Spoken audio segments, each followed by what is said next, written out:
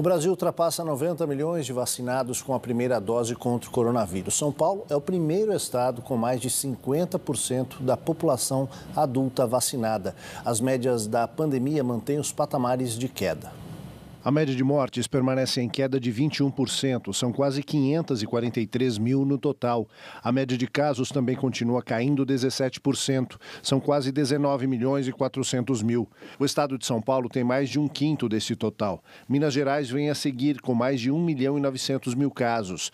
Paraná com mais de 1 milhão e 300 mil. Rio Grande do Sul com 1 milhão e 270 mil. Bahia com 1 milhão e 170 mil. Santa Catarina perto de 1 milhão e 100 mil. E agora agora também o Rio de Janeiro completa os estados com mais de um milhão de infectados.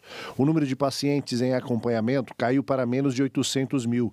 Os recuperados somam mais de 18 milhões. A vacinação com a primeira dose ultrapassou 90 milhões de pessoas. Com a segunda ou com a dose única, são mais de 34 milhões. São Paulo é o primeiro estado com mais da metade da população vacinada com a primeira dose.